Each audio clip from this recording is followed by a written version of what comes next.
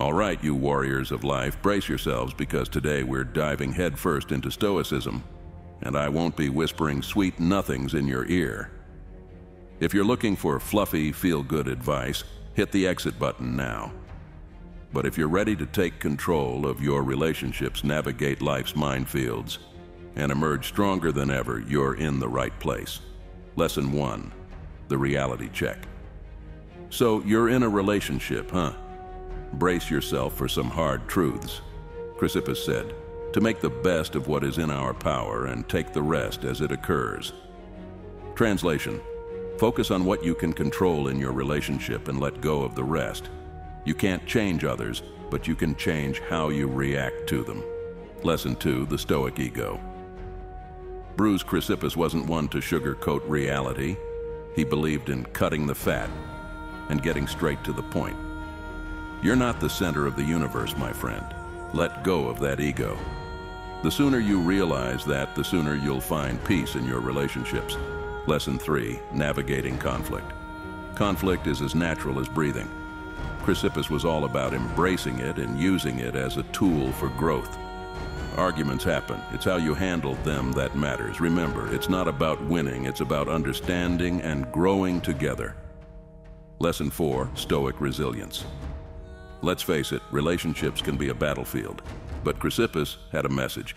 Injuries may be forgiven, but not forgotten. Forgiveness is a virtue, but it doesn't mean you have to forget the lessons learned. Carry them with you and let them make you stronger. Lesson 5 The Stoic Compass. Chrysippus believed in having a moral compass that guided his actions. What's yours pointing toward? A successful relationship isn't about short-term pleasure, it's about long-term fulfillment. Stay true to your values. Lesson 6, Stoic Flexibility. Life isn't a straight road, and neither are relationships. Chrysippus advised, as the same fire assumes different shapes when it consumes objects differing in shape, so does the one self take the shape of every creature in whom he is present.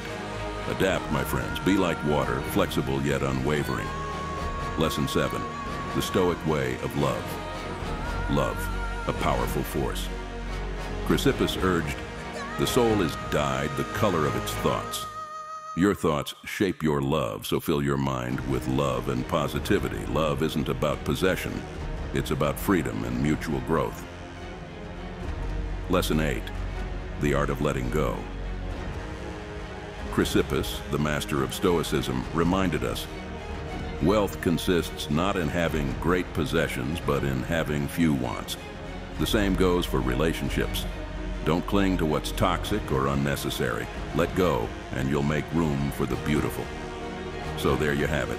The Stoic Guide to Relationships. It's not just words, it's a call to action. Take these lessons and apply them to your life.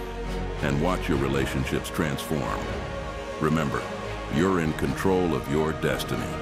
Stay stoic, stay fierce, and let's conquer the realm of relationships together.